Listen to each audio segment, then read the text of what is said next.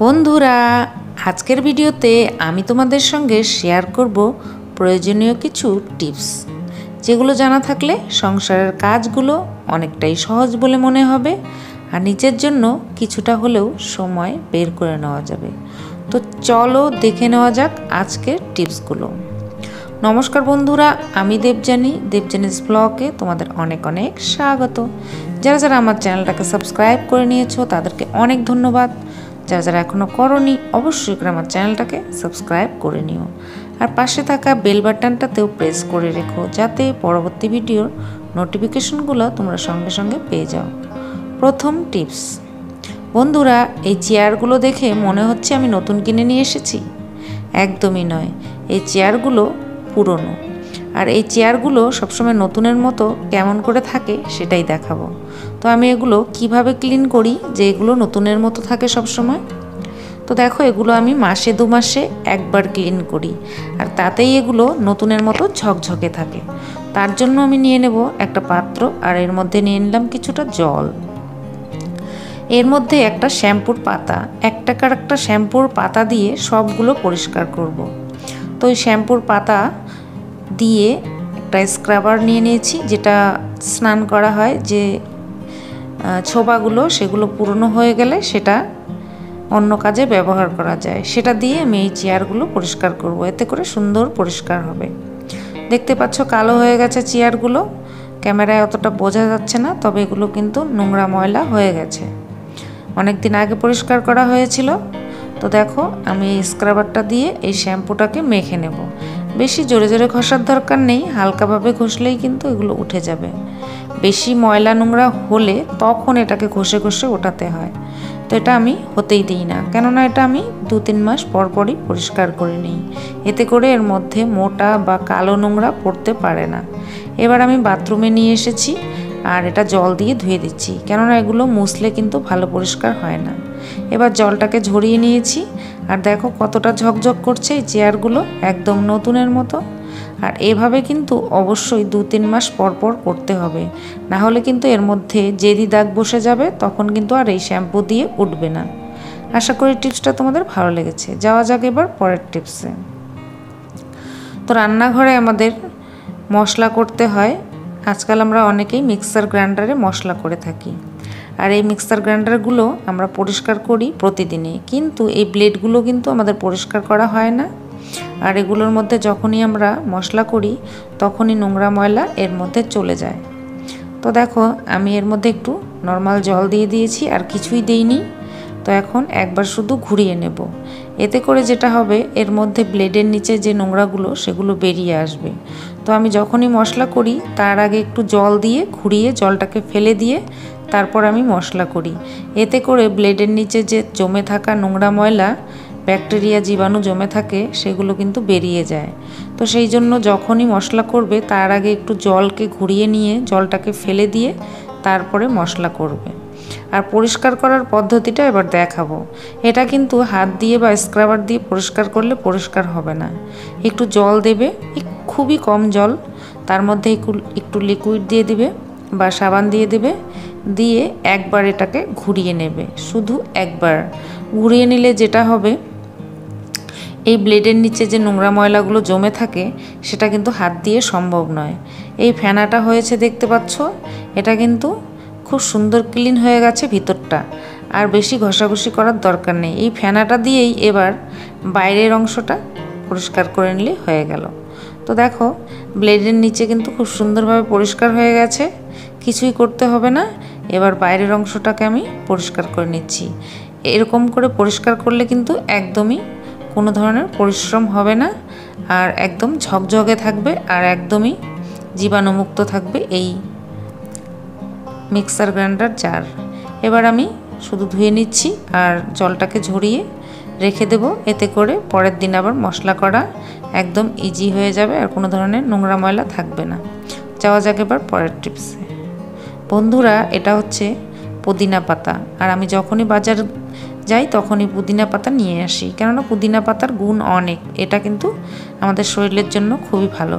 কিন্তু এটা তোমরা কীভাবে খাও জানি না, তবে আমি এটা দিয়ে চা তৈরি করে খাই। এতে করে খুব ভালো ফিল হয়। আর এই চাটা খাওয়াও কিন্তু খুব উপকারী। কিন্তু এগুলোকে প্রত্যেক দিন এনে চা খাওয়াটা সম্ভব নয়। সবার বাড়িতে এগুলো গাছও নেই। সেক্ষেত্রে বাজার থেকে কিনে আনলেও কিন্তু নষ্ট হয়ে যায়। যেভাবে এটা রাখলে নষ্ট হবে না সেটাই তোমাদেরকে দেখাচ্ছি। যখনই পুদিনা পাতা আনবে, সঙ্গে সঙ্গে এর পাতাগুলোকে খুলে নেবে। জলের মধ্যে এর পাতাগুলোকে খুলে নেবে। আর খুলে এই পাতাগুলোকে জলের মধ্যে ডুবিয়ে ডুবিয়ে দু থেকে তিনবার খুব সুন্দরভাবে পরিষ্কার করে নেবে। তারপর এই পাতাগুলোকে জলটাকে ঝরিয়ে একটা নেটের সাকনির মধ্যে আমি রেখে দেবো পাঁচ দশ মিনিট, এতে করে জলটা খুব সুন্দরভাবে ঝরে যাবে। আর জলটা যখনই ঝরে যাবে তখনই একটা কন্টেনারে এটাকে ভরে নেবে।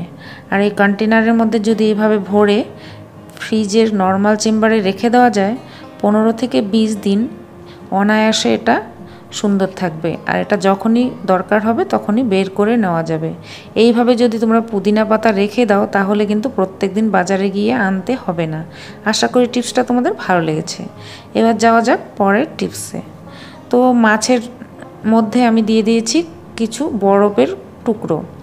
এটা দেওয়ার কারণটা হচ্ছে, মাছটা যখনই কিনে নিয়ে আসবে, অনেক সময় তখন কিন্তু এটা কাটা হয় না। অনেক সময় হয় কি, মাছ কাটার লোক থাকে না বা কোনো কাজে ব্যস্ত বা কাজের মাসি এখনও আসেনি, এই জন্য কিন্তু মাছটা কাটা দেরি হয়ে যায়। তো সেই জন্য এর মধ্যে বরফ দিয়ে রেখেছিলাম। এখন মাসি এসে মাছটাকে কাটছে। মোটামুটি দু তিন ঘণ্টা পর মাসি আসলো আর ফাইনালি এগুলো কেটে দিল। মাছটা কিন্তু এখনও সুন্দর আছে। আর এর মধ্যে আমি দিয়ে দিলাম লবণ। মাসি মাছটাকে কেটে নিয়েছে। এবার এর মধ্যে আমি লবণ দিয়ে দিলাম। লবণটা দেওয়ার একটাই কারণ, এই যে মাছের আঁশগুলো যে, এগুলো কিন্তু কেটে নিলে যায় না। ছোট মাছের আঁশ লবণ দিয়ে সুন্দর করে কষলে কষলে ধুলে কিন্তু এর আঁশগুলো সুন্দরভাবে উঠে যায়। আর এতে করে মাছটাও খুব সুন্দর ক্লিন হয়। এবার এই মাছগুলোকে ভালো করে ধুতে হবে। দু তিনবার ভালো করে ধুতে হবে। কিন্তু এই মাছের মধ্যে যদি তোমরা লবণ ব্যবহার না করো, তাহলে কিন্তু এটা যতবারই ধোবে, ততবারই এই রাসগুলো বেরোতে থাকবে আর ঘোলাটে জল বেরোতে থাকবে। তাতে কিন্তু মাছটা ক্লিন হবে না। সেই জন্য প্রথমে এটা কেটে তারপরের মধ্যে লবণ দিয়ে দেবে। আগের দিনে আমাদের মা মাসিরা দেখতাম যে এই মাছ ছাই দিয়ে বানাতো, আর ছাই দিয়ে বানালে কি হয়, মাছটা আঁশগুলো পরিষ্কার হয়ে যায়। কিন্তু এখন কারও বাড়িতে ছাই নেই, তার জন্য লবণ ব্যবহার করলে খুবই ভালো হয়। লবণ দিলেও কিন্তু মাছের নোংরা ময়লা কেটে যায়, আর মাছ থেকে মাছের আঁশগুলো উঠে যায়। খুব সুন্দরভাবে উঠে গেল আর মাছগুলোও কিন্তু তরতাজা রয়েছে, যেহেতু আমি এগুলোকে বরফ দিয়ে রেখেছিলাম। এবার এই মাছগুলো ধুয়ে সুন্দর করে পরিষ্কার করে নেওয়া হয়ে গেল। এর মধ্যে এবার তোমরা যেভাবে এটাকে মেখে নাও, লবণ, হলুদ, সেভাবে মেখে নিয়ে রান্না করবে, তাহলে দেখবে একদম সুন্দরও থাকবে, তরতাজাও থাকবে আর ক্লিনও হবে। আশা করি টিপসটা তোমাদের ভালো লেগেছে। এবার যাওয়া যাক পরের টিপসে। সকালবেলা যখন চা তৈরি করি, এর ছাকনির মধ্যে যে চাপাতিটা থাকে, এটা কিন্তু রেখে দিই। সারাদিনে অনেক কাজে লেগে যায়। যেমন ধরো, এই মাছটা যদি আমি কেটে নিতাম, তাহলে আমার হাতটা কিন্তু খুব বাজে একটা গন্ধ হতো। যখন এই মাছটাকে তোমরা নিজে হাতে কাটবে, কাটার পর মাছ বা যে কোনো পেঁয়াজ, রসুন, যে কোনো জিনিস কাটো না কেন, হাত দিয়ে কিন্তু একটা বাজে গন্ধ হয়। এছাড়াও রান্নাঘরে অনেক কাজ এমন আছে, যেগুলো করলে কিন্তু হাতটা দিয়ে বাজে একটা খারাপ গন্ধ আসে, সেটা যে কোনো ধরনের লিকুইড বা সার্ফ সাবান দিয়ে ধুলে কিন্তু যায় না হ্যান্ড ওয়াশ দিলেও যেতে চায় না। এটার একটাই উপায় সেটা হচ্ছে সর্ষের তেল। সর্ষের তেল দিলে ভালো কথা, আর যদি মনে করো সর্ষের তেল দিলে চিটচিটে হবে, তাহলে একটু চাপাতি, সেই যে চা বানিয়ে রাখা, ফেলে দেওয়া চাপাতি, সেই ফেলে দেওয়া চাপাতি দিয়ে হাতটাকে ক্লিন করে ধুয়ে নিবে। এতে করে হাতটা সুন্দর ক্লিন হয়ে যাবে, আর বাজে গন্ধ থাকবে না। এখানে দেখতে পাচ্ছ আচার নষ্ট হয়ে গেছে একটু, সেটাকে ফেলে দিলাম। এবার এই আচারের বয়ামটাকে বা জারটাকে ধুতে হবে। এটার মধ্যে জল দিয়ে রেখে দেবো পাঁচ দশ মিনিট। এটার মধ্যে কিন্তু বহুত তেল চিটচিটে রয়েছে। দু তিনবার এরকম করে জল পাল্টে আমি জলটাকে ফেলে দিয়েছি। এবার এটাকে ফাইনালি ক্লিন করব। এটা ক্লিন করতে হলে একটু সামান্য গরম জল দিলে খুবই ভালো হয়। একটু লিকুইড দিয়ে তারপর এটাকে রেখে দেব একটু ঝাঁকিয়ে, তাহলে এটা ক্লিন করাটা একদম সুবিধে হবে। তো দেখো একটু ঝাঁকিয়ে রেখে দিচ্ছি। এটা অন্য বাসনগুলো পরিষ্কার করতে করতে এটা ঠান্ডা হয়ে যাবে, তখন এটা ক্লিন করে নিলে খুব সুন্দর ক্লিন হবে। এখন একটা স্ক্রাবার দিয়ে সেই জলটা দিয়ে বাইরের অংশটাকে পরিষ্কার করে নিলাম। আর দেখো খুব সুন্দর ঝকঝকে চকচকে হয়ে গেল কিন্তু এই জারটা। এইভাবে তোমরা কাচের যে কোনো জার ক্লিন করে নিতে পারো, একদমই পরিশ্রম হবে না। কিছুক্ষণ এটাকে রেখে দিয়ে তারপর পরিষ্কার করবে, তাহলে দেখবে যে খুব সুন্দর ঝকঝকে হয়ে যাবে। এবার এটাকে আমি রোদ্রে শুকিয়ে নিয়েছি আর জিনিসপত্র রেখে দিয়েছি। কিন্তু এটার যেটা প্রবলেম সেটা হচ্ছে, আমি আগের যে জিনিসটা রেখেছিলাম এখনও কিন্তু ব্যাড স্মেল করছে। তো আমি আরও কয়েকটি জার ধুয়েছিলাম, সেটাও আমি দেখছি যে একটা ব্যাড স্মেল করছে। এই ব্যাড স্মেলটা যাওয়ার জন্য আমি যেটা করব, একটা সলাই নিয়ে নিয়েছি, ম্যাসের যে কাঠিগুলো, সেই কাঠিগুলোকে জ্বলিয়ে এর মধ্যে দিয়ে দেব। এর মধ্যে দিয়ে তারপর যদি এটাকে রেখে দেওয়া যায় দু এক মিনিট ঢাকনা দিয়ে, তাহলে যেটা হবে, আগে যে জিনিসটা রেখেছিলাম, সেটা কিন্তু এর মধ্যে আর গন্ধটা থাকবে না। এইভাবে কিন্তু আগের গন্ধটা চলে যাবে।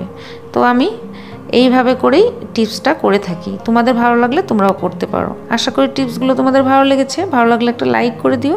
চ্যানেলটা যদি সাবস্ক্রাইব করা থাকে, অবশ্যই আমার চ্যানেলটাকে সাবস্ক্রাইব করে রেখেও। আজকের জন্য শেষ করব। নমস্কার।